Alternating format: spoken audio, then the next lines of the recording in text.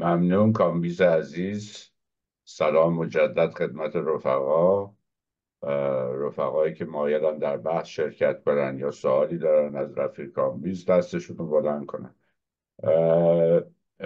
حالا تا رفقا دست رو بالا کنن من یه نکته ای می‌خواستم بگم. اونم این که همونچه که خودتونم اول صحبتتون گفتین تئوری دولت مدرن مارکس در واقع قبول داره. هیچکی بهتر از هگل بیان نکرده. عالی ترین شکلی که بورژوازی مدرن تونسته تئوری دولتش رو بده در فلسفه حق هگله. همونطوری هم که مثلا با نقد اقتصاد سیاسی کلاسیک مارکس ماهیت واقعی سرمایهداری رو نشون میده با نقد فلسفه حق هگل هم در واقع داره ماهیت واقعی دولت مدرن رو نشون میده دولت بورژوایی رو نشون میده. ولی اینجا که می‌رسیم مارکس بعد زیاد وارد خود تئوری دولت نشده. یعنی در اینجا و اونجا اشاراتی کرده. و تو خود این نقد فلسفه حق هگل هم فقط به یه بخشایی از فلسفه حق هگل پرداخته. به بخش جامعه مدنیش به بقیه بخشا اونقدر نپرداخته.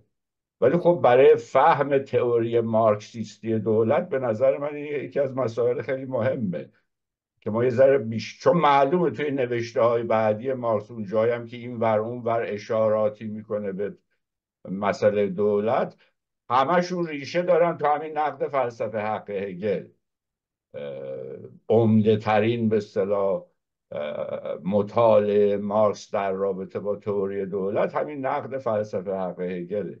می‌خواستم بدم شما نظرتون چیه؟ یعنی از این نقد فلسفه حق هگل مارکس در رابطه با تئوری دولت چه نتایج کلیدی و عمده ای میشه گرفت؟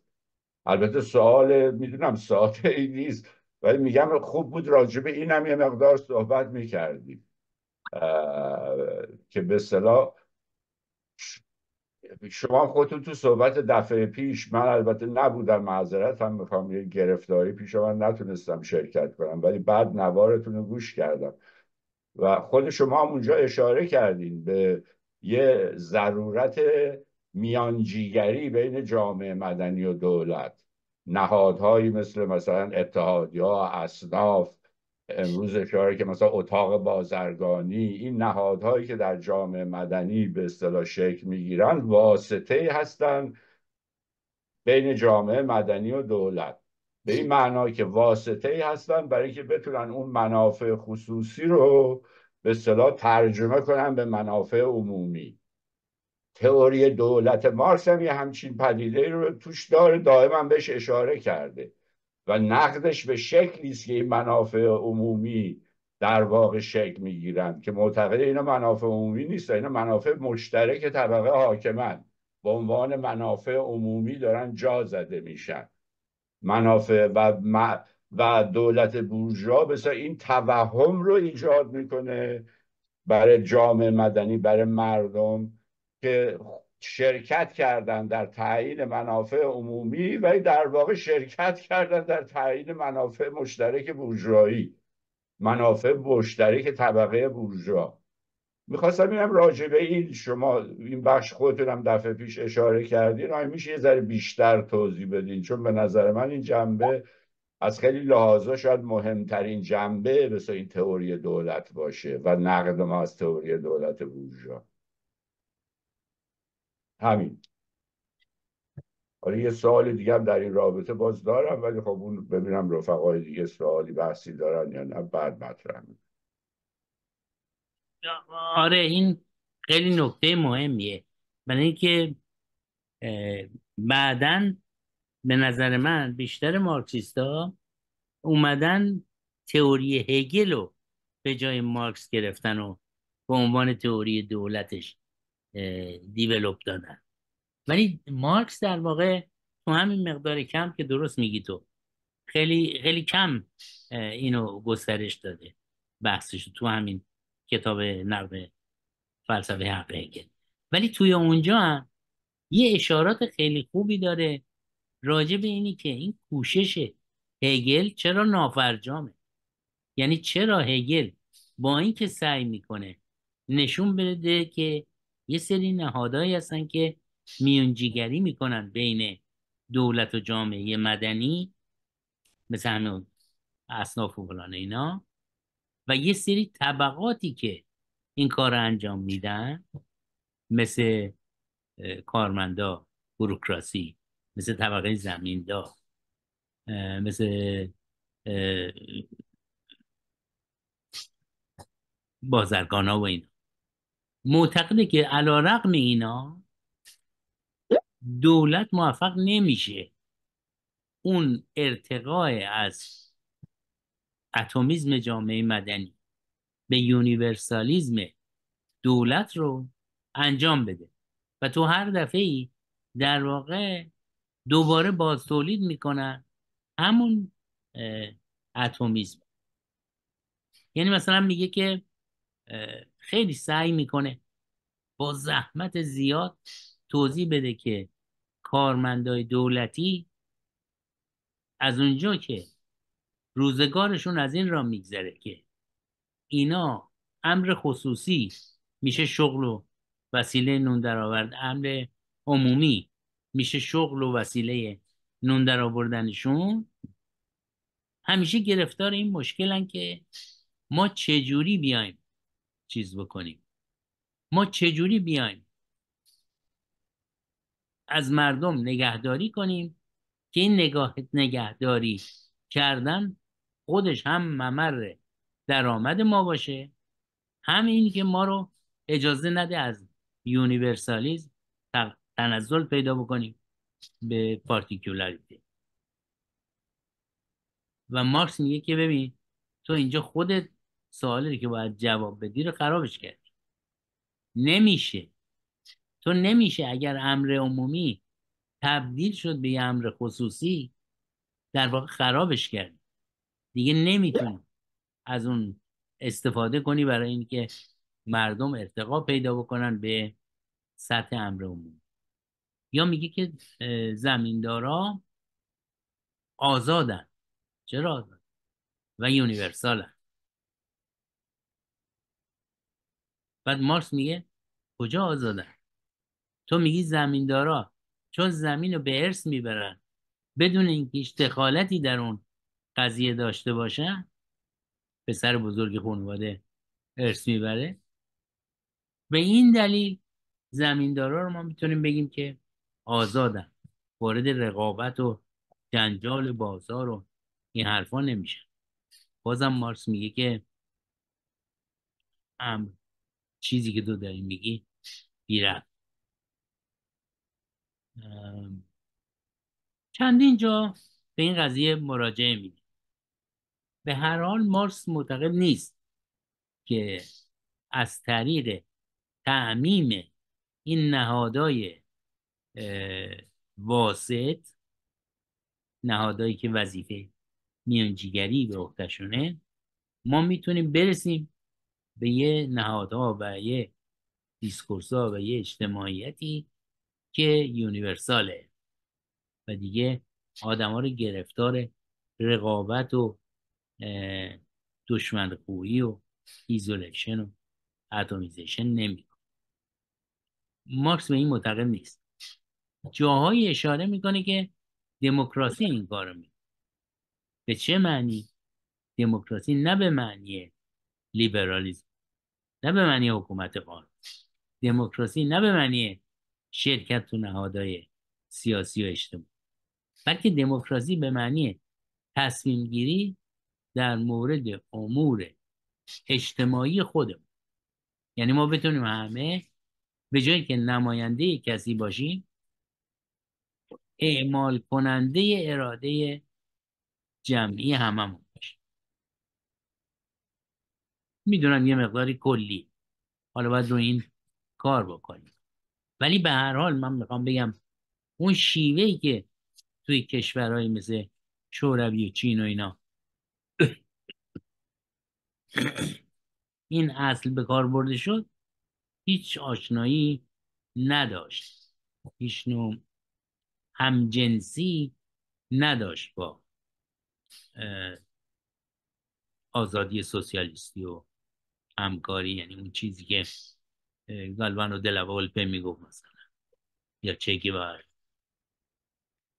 اینه که من فکر کنم باید روی این خوب کار کنیم. مخصوصا با استفاده از این تجربه ای که شده خوب یاد بگیریم که چجوریه. چرا تو بیشتر این کشورها حکومت های خیلی استبدادی شکل گرفت و چیکار کنیم که دیگه نگیریم؟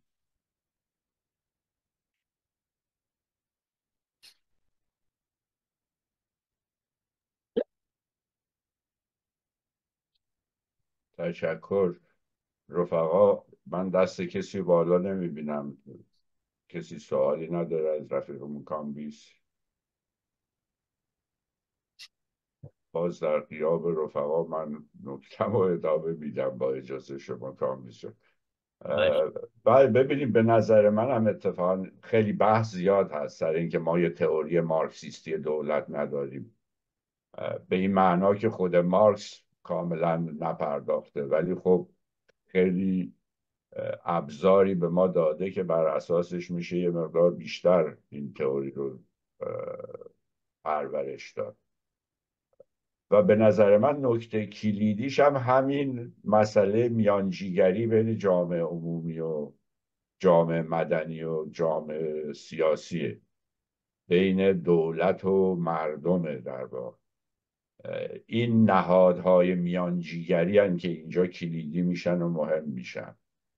و به نظر من از همین زاویه است که مارکس خیلی تاکید داره روی اینکه توی حالا تاکید زیاد نه ولی چند جا اشاره کرده. ولی توی خود بحث سیاسی که می‌کنه مثلا سر مثلا دولت بناپارت سر جنگ داخلی تو فرانسه سر مثلا یه سری مقالاتی که بعدها برای مثلا اینترنشنال تریبون میوشت به این جدایی رژیم سیاسی و دولت که این دوتا دوتا پدیده متفاوتن با هم یکی نیستن نباید یکی گرفت رژیم سیاسی رو با دولت. دقیقا از همین مسئله میانجیگری میاد. این شکل میانجیگری بین جامعه مدنی و دولت باعث میشه که رژیم سیاسی یه مقدار رو به مردمه. پاسخگو به این نهادهایی است که از دل جامعه مدنی بیرون اومدن.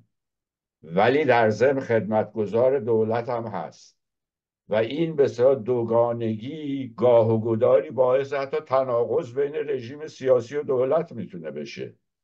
مثلا میگم فرض کنید در بعد از انقلاب روسیه کومینترن تز جبهه واحد کارگری رو که میده که حزب سوسیال دموکرات باید با حزب کمونیست با هم اتحاد عمل کنن تو انتخابات شرکت کنن اکثریت رو بگیرن. فرض کنید این اتفاق میافتاد. اتفاق نیفتاد البته. فرض کنید اتفاق میافتاد. یه همچین حالا میانجیگری بین جامعه مدنی و دولت واضح یعنی بلشویکا می‌خواستن از این اتحاد عمل یه ابزاری پیدا کنن برای بسیج مردم علیه دولت. حالا خود این شده رژیم سیاسی این دولت. یعنی یه جایی میشه که این تناقض بین رژیم سیاسی و دولت می‌تونه این دوگانگی بین رژیم سیاسی و دولت می‌تونه واقعا به تناقضات و خصومت آمیز بیانجامه. یعنی می‌خوام بگم برای بررسی تئوری مارکسیستی دولت دقیقا این اون نکته کلیدی است که باید روش اشاره تاکید کرد و رفت روش ایستاد. روی شکل این میانجیگری بین نهادهای جامعه مدنی و دولت. و متاسفانه اتفاقا اغلب کسانی هم که به اصطلاح سعی کردن تئوری دولت مارکس رو به اصطلاح دیولوب بدن به این دقیقا همین نکته کلیدی نپرداختن. خیلی هنوز هم که هنوزه با اینکه میگی بین رژیم سیاسی و دولت تفاوت هست میپذیرند همینجوری به اصطلاح. بله چون به حال مارکس گفته دیگه یه جایی مثل مثلا تو نقد برنامه گوتا هم حرف زدی. یه جایی خیلی به اصطلاح مهم و رسمی که داره راجب سیاست حزب کارگری صحبت می‌کنه. و نمیشه انکارش کرد. ولی میگم اتفاقا دقیقا همین جاست که لازم ما مجددا این قرائت هگلی رو با دید مارکسیستی نقد فلسفه حق هگل رو از زاویه میان جنبه این میانجیگری به صلاح بتونیم یه مقدار جلوتر ببریم. خواستم میرم حالا شما خودتون نظرتون راجع به این چیه؟ تا چه حد راجع به این بسا فکر کردین و نظراتی دارید در این رابطه. اگر وقت بود یا حوصلهشو داشتید. والا منم خیلی به این فکر کردم. به خصوص یه دوره ای همون اولا که کلتی هنوز مغزش تیر نخورده بود یه بحث خیلی عالی داشت راجع به دموکراسی مستقیم و تفاوتش با سیستم نمایندگی و اینکه وظیفه کارگرا و کمونیستا تو این قضیه چیه؟ فکر می‌کنم خیلی مهمه. اگه ما بتونیم پیدا کنیم که چجوری میشه از ابزار دموکراسی مستقیم استفاده کرد که آدمایی که انتخاب می‌کنن خودشونم مجری فرامین خودشون باشن و اونا رو نهادینه کرد.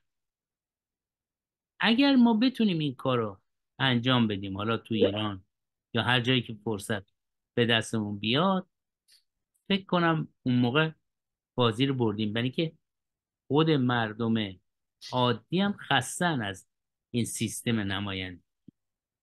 یعنی شما تو کشورهای پیشرفته سرمایه داری که نگاه می‌کنین کشورهای عقبمون دیگه اصلا پارلمانی وجود نداره.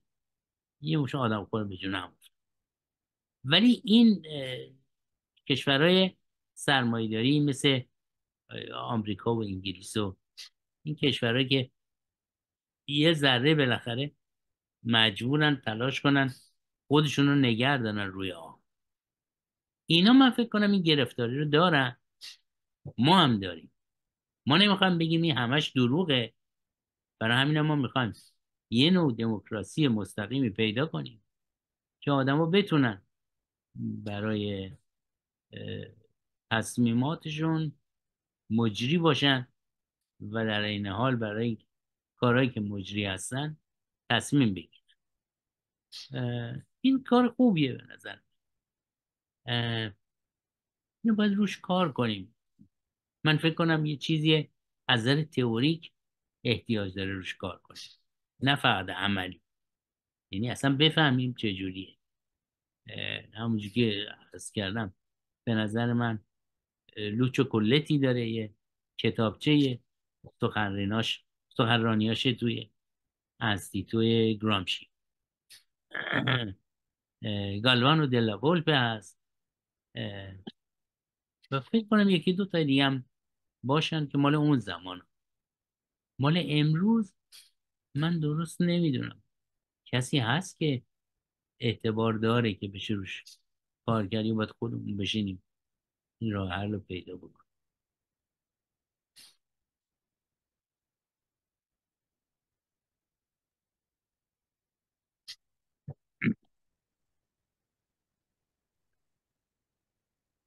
رفیق نیلوفر دستتون بالاست می‌بینم. بفرمایید.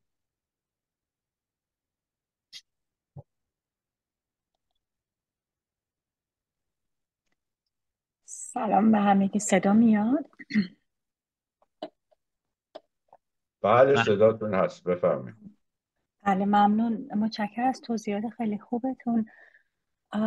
سوالی که از رفیق کامبیز دارم اینه که به نظر خودتون حالا با توجه به خوانشی که از در واقع نقد مارکس به فلسفه هگل داشتین فلسفه حق هگل داشتین اصلی ترین در واقع ریشه‌ای ترین بنیادی ترین نقدی که مارکس به در واقع حقوق اجتماعی داره. به همون معنی که در واقع جامعه بورژوازی مدرن تعریفش می‌کنه لیبرال در لیبرالیسم تعریف شده و خب در جوامع سرمایه داره داره اجرا میشه تا یه حدودی. با کلی پارادوکس البته. در واقع به معنی واقعی هم اجرا نمیشه. همون حق مجرد همونی که جایگزین امتیاز میشه. نقد اصلی ریشه مارکس به نظر شما به این به این جایگزینی چیه؟ اینی که حق مجرد میاد و جایگزین امتیاز میشه در جامعه مدرن بورژوازی و چه مشکلی در این خانش؟ به نظر شما مارکس می‌بینه. ممنون. خیلی ممنون. به نظر من مارکس یه نکته عجیبی دیده که چقدر بعدش؟ تقریبا یه پنجاه سال بعدش تازه نطفه های این بحث شروع شد. شکل گرفت. اونم اینه که مارکس میگه که شخص به عنوان مقوله حقوقی یعنی یه سری اختیارات و شایستگی ها که برای فرد در نظر گرفته میشه توی جامعه مدنی. یعنی شایستگی ها اختیارات. خب؟ خب اگه این یعنی حقوق یعنی یه چیزی فلواقع وجود داره و این افراد باید برن اون چیز رو پیدا کنن و از آن خود بکننش. در حالی که مارکس این عقیده رو قبول نداره. مارکس میگه ما باید یه دنیایی بیافرینیم یه دنیایی رو خلق کنیم که اون دنیا انسانیه و فقط هم به عقل عملی و عقل نظری محدود نمیشه. یعنی این نیست که شما چقدر اختیار دارید و چه نوع توانایی های شایستگی هایی برای شما جایز شمرده شده. چون این قضیه دوباره دنیا رو تقسیم می‌کنه به اینی که کیه که تعیین کننده امر شایست و ناشایسته کیه که می‌خواد بگه آدما این کار خوبه براشون این کار خوب نیست این ناجورش می‌کنه. این ما رو برمیگردونه به دامن لیبرالیسم. ولی مارکس اینو قبول نداره. مارکس میگه که مسئله این نیست که چه نوع شایستگی هایی برای تو در نظر گرفته شد. بلکه مسئله اینه که چه شرایطی فراهم کنید که همه آدما بتونن بر طبق اون شرایط انسانیت خودشون رو تحقق بدن. بنابراین هر چیزی که مانع تحقق انسانیته باید از راه برداشته بشه. حالا تو دنیای مدرن سرمایه داری این چیزی که مانع تحقق امکانات انسانه حقوق و از خود بیگانگیه و اقتصادی که مبتنی بر خرید و فروش نیروی کاره. توی جامعه ما قبل سرمایه داری ابزار غیر اقتصادی استثمار و سرکوب و بهره کشی. حالا مارکس با هر دوتا مخالفه. نمیگم که این بهتره یا اون بهتر ولی داره میگه که توی سرمایه داری اون چیزی که انسان رو نمی‌ذاره خودش رو تحقق بده بهره کشی غیر مستقیمه سیستم نمایندگی توی عرصه اقتصاد این سیستم نمایندگی به صورت خرید و فروش نیروی کار خودشونشون میده. تو عرصه غیر اقتصادی این نظام خودشو در حقوق برابر و قرارداد و شخص و اینجور چیزا نمی‌دونم تونستم مطلب رو درست بگم.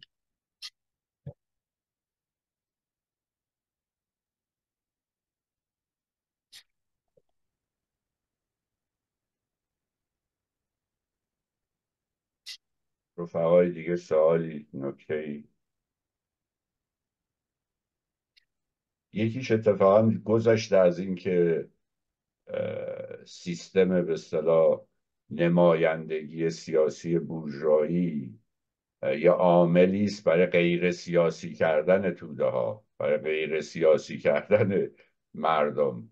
به قول مارکس معنیش فقط این که هر چهار سال یه بار شما حق دارین انتخاب کنین کی چهار سال بعد جیبتون رو بزنه.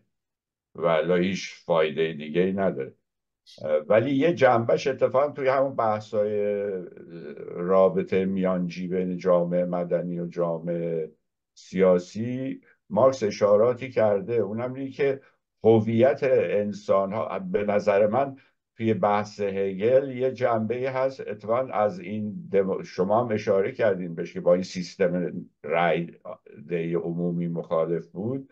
یه جنبش به نظر من اتفاقا درست بحث هگل.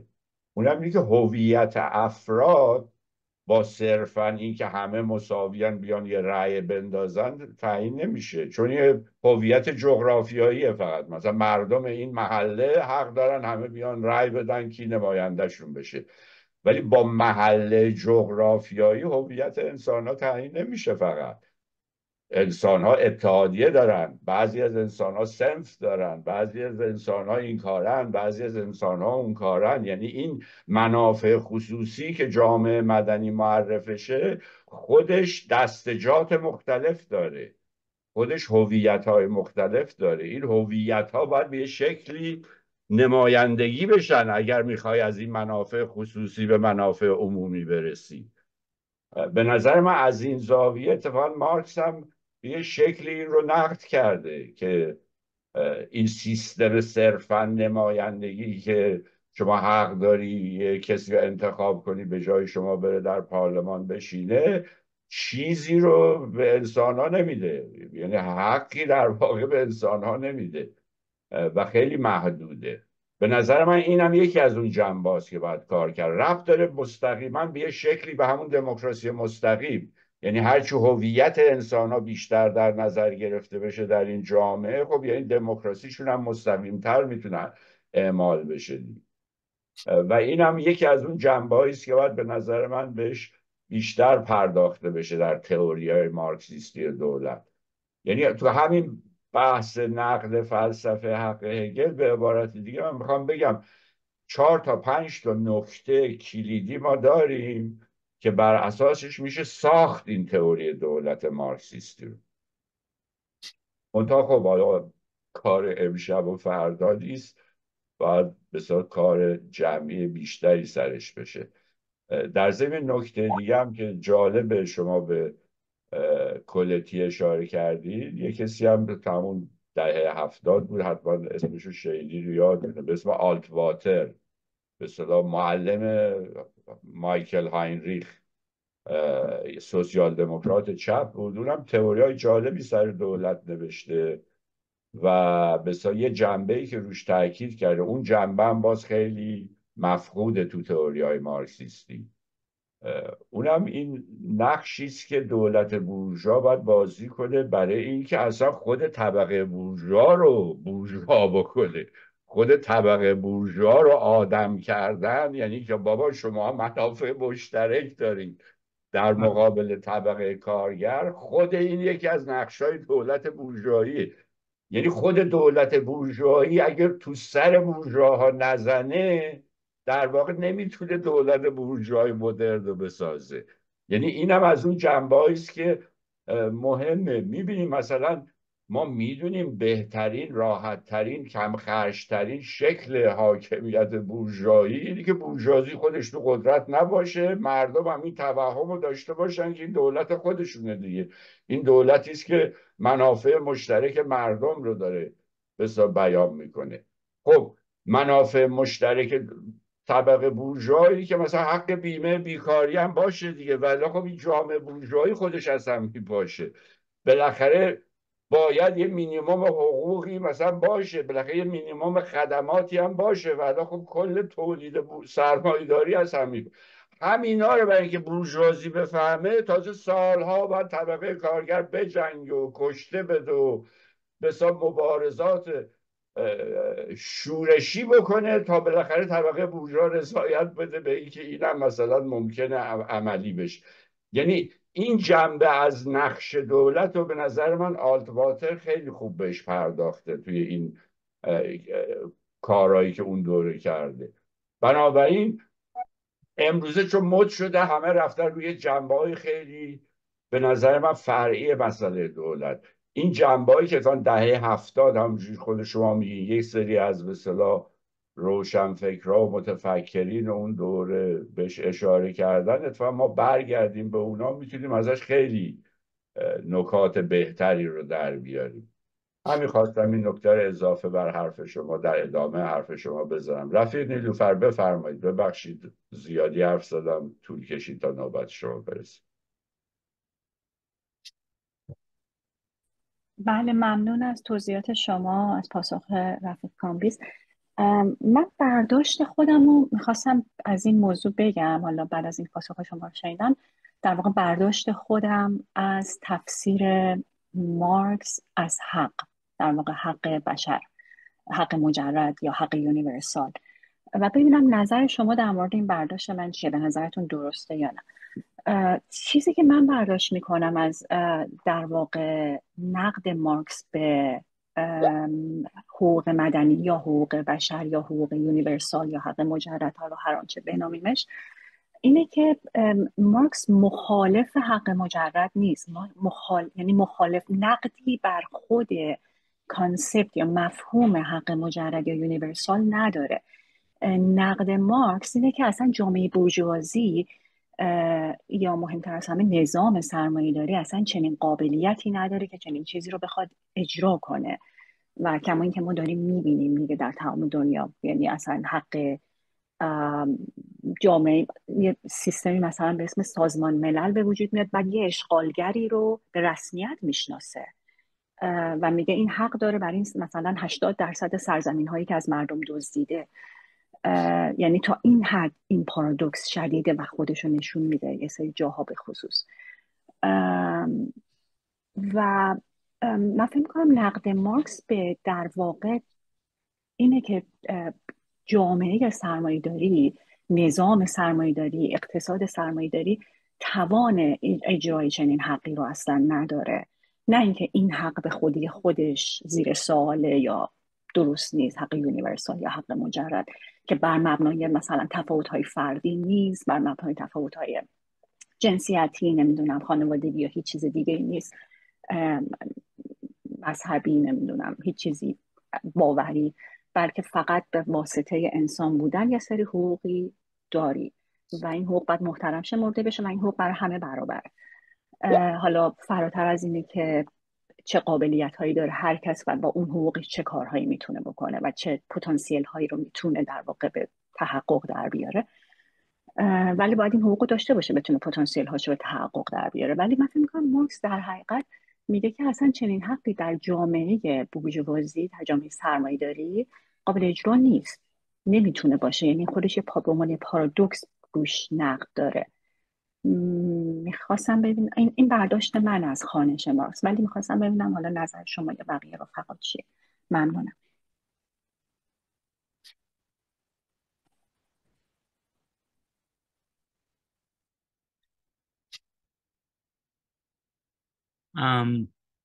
من با اجازتون یه نکته دارم. خیلی خوب پرداخته شده نیست ولی یه مدتی روش کار کردم به نظر من مارکس و بعد از مارکس پاشوکانیس و ستوچکا دو تا مارکسیست حقوقدان روس مال شوروی بودن که استالین هر دوتا رو کشته. این دوتا به اضافه مارکس یه نکته خیلی مهمی رو مطرح اونا میگن مسئله رابطه آدما با هم دیگه توی سرمایه داری فقط در سطح فرمال برابر میشه برای اینکه بتونه نابرابری رو بپوشونه. یعنی رابطه کارگر و سرمایه دار نیست که یه نوع چپاوله چون خرید و فروش نیروی کاره ولی به عنوان خرید و فروش کار جلوه می‌کنه یعنی سرمایدار نمیگه که من از تو نیرو کار تو خریدم ولی تو رو وادار به کار کردم. در نتیجه تو رو استثمار می‌کنه اینه که وقتی میریم تو پروسه تولید دیگه اونجا این رابطه حقوقی غالب نیست. تولید نیومده توی ببخشید حقوق نیومده توی رابطه تولید. چون تو رابطه تولیدی من شما رو وادار می‌کنم که نیروی کار یعنی توان کار کردن پتانسیلی که در شما نهفته است رو به عمل بندازین و محصولشو بدین به من. ولی در واقع شما اصلا توافق اینا نکرده بود شما می‌خواستین خود کار رو بفروشین. و من از زیر این مسئولیت شونه خالی می‌کنم یعنی من شما رو وادار می‌کنم خود کار رو به من بفروشین و این یه موزل بزرگیه که سرمایه داری باش درگیر نمی‌خواد بشه. ولی اگر یه شفافیتی وجود می داشت سرمایه داری به نظر من مجبور بود که بگه من تو رو وادار می‌کنم که بیای و یقه منو بگیری. بگی که تو نیروی کار تو به من فروختی. بنابراینم فقط بهای نیروی کاره که پرداخته شده. نه بهای کار. خیلی من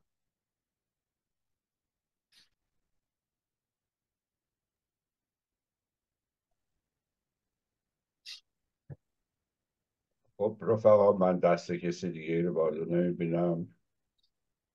بیش از این پس رفیقمون کامبیز رو خسته نکنیم. اگر کسی حرفی نکته ای نداره من از رفیقمون کامبیز می‌خوام. این حرف آخری دارن بزنن و الا که دیگه جلسه رو تموم.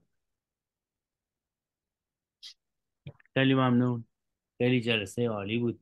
ممنونم از شرکت و راهنماییت پس تشکر از همه رفقا و شب خوشی داشته باشین تا هفته بعد. قربان.